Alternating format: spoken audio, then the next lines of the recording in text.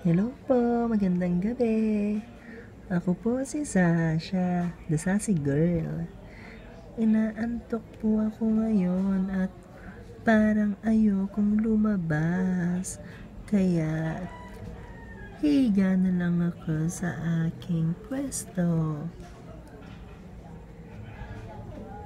Ituturo ko po sa inyo ang aming tindahan.